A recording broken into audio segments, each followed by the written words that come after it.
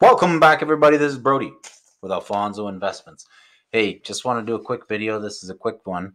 I opened one pack of Modern Horizons 2 uh, Collector's Edition.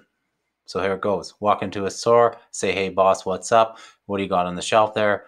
Collector's Edition Modern Horizon. Let's go. How much? Ah, $37. I think it was. Open a pack. Let's see what we got. We hit, uh, this was pretty good. This is pretty good.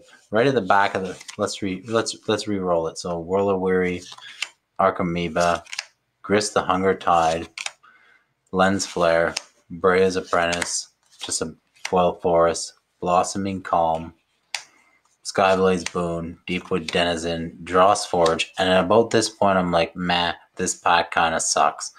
You know, the Gouge Zealot, and it's all foil stuff. Then I hit this card, Geyadrone Dihada. So Geyadrone's a pretty cool planeswalker, full art in foil. And I was like, yay, cool, Modern Horizons 2, rock on. That's an awesome card. And then it was like, boom, Scalding Tarn, boys. Opened a Tarn. Yep.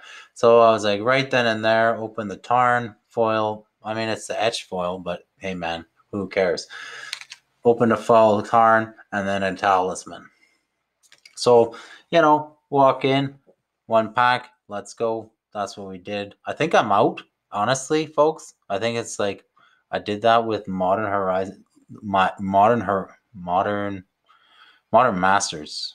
Yeah, I got no iconic masters. I remember that one one and done on iconic masters. One pack was Thoughtseize and Mana Drain in one pack. Boom, so one and done. I don't think it gets any better than that, folks. Uh, what do you think? Do you go back get another pack? That's called sniping. So anybody have any sniping stories where you walk into the store, pick a pack, boom, hot pack, open it up, hit something good like a scalding tarn, walk away. Modern Horizons 2. I don't know if you can lose. Like, subscribe the video. Thanks a lot for watching. Once again, this is Brody at Alphonso Investments.